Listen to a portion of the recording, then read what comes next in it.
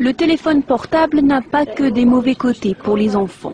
Ce petit Écossais de 3 ans a su s'en servir au bon moment.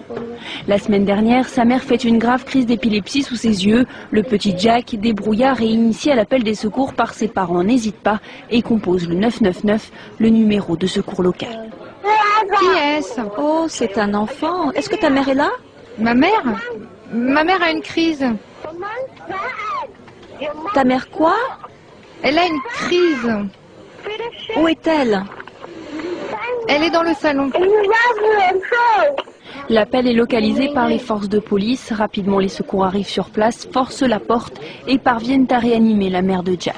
Son geste a sauvé la vie de sa mère, il n'y a aucun doute là-dessus, car s'il n'avait pas réussi à nous avoir au téléphone, sa mère serait restée allongée toute la journée. Pour récompenser le petit Jack de son geste héroïque, la police lui a accordé un titre honorifique et offert une casquette de policier.